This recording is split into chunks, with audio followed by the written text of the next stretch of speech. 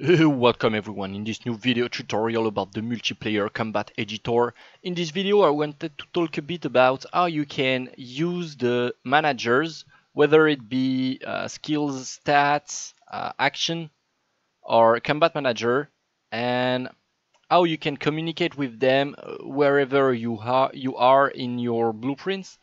So basically how you can reference and use all the value and you, the data you provide when you set up your managers. So all the stuff we say in our third person character, we created a bunch of things like uh, actions and stats and we gave skills to our character and all all that all that stuff. Uh, okay, that's that's fine, but how do I uh, increase the health of my character? How do I modify the strengths, uh, the, the, armor? How do I restore mana and stuff like that? How do I how do I communicate with all these managers? Uh, that's that's pretty easy, and that's why you have an interface, uh, not an interface, but several interfaces. That's why you have all of this, and especially the find action manager, find skill manager, combat and stat manager and for example, we are going to create a simple uh, pickup. Let's call that BP pickup. Let's create that. Let's add a static mesh. And it's going to float above the ground. And we want a sphere. Uh, we want, we want, uh, I don't know, what do we want? We want something like a bowl maybe 0.5, 0.2, we want that to be like this, and we want to add a box, sphere collision, and this is going to be like 50, 100, okay, so that's quite, quite big actually.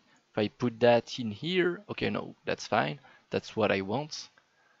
That's a sphere, and when someone overlaps, you could say cast to the other actor into my character and grab the stat manager.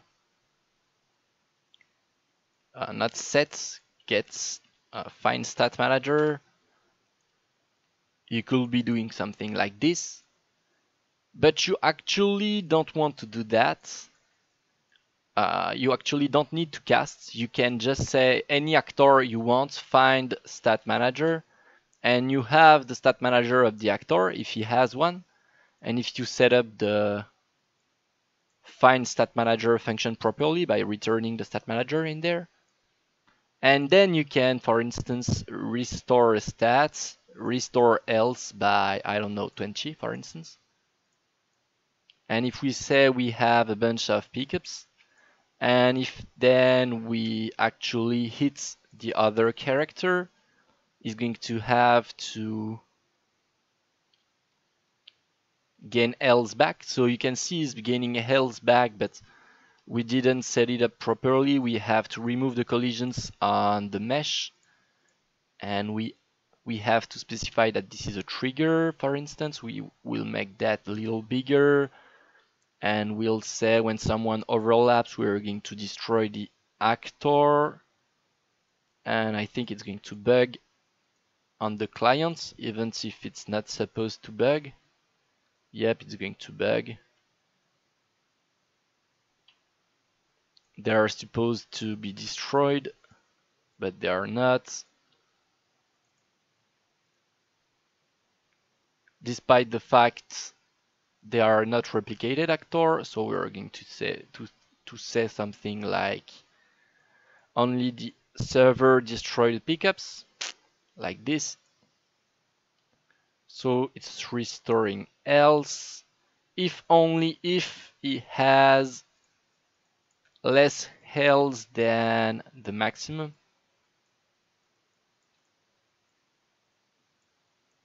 Like that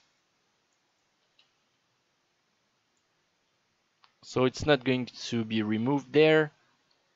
But if I'm dealing damage to the other guy,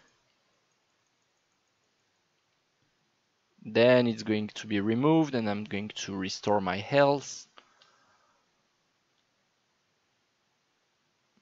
But you could be accessing uh, any other any other manager You could be building a trap that says when you overlap with me, you actually receive damage.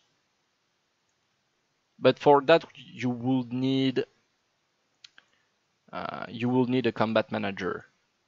So this will need a combat manager to be able to deal damage properly. Owner is asking for a combat manager, and I'm not sure if you can if you can if you can deal damage without a combat manager. I'm not sure anymore. Uh, I forgot exactly what's going on. What, what is the exact chain of events when you receive damage? I think it should not. It might not work.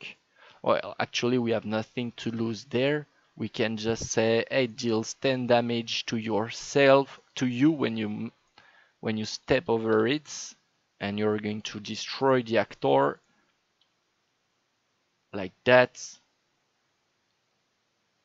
and we are we are we are receive, we are taking damage and we do not have any errors. So I think I think I set it up I already set up set it up in a way that allows us to do that. So we take damage when we step it on.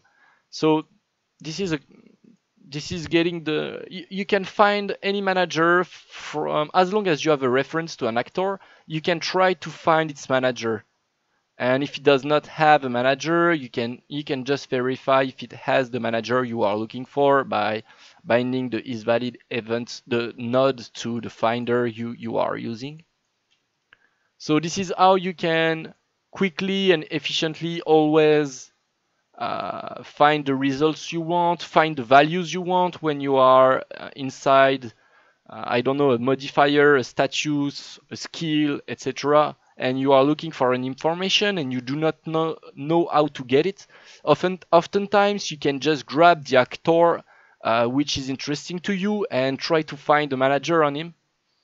So this is this was uh, a video I wanted to make because uh, I wasn't clear. It wasn't uh, necessarily clear how you are supposed to use the interfaces and the Find Manager. And I'm actually finding myself using them a lot because you oftentimes want to grab the information.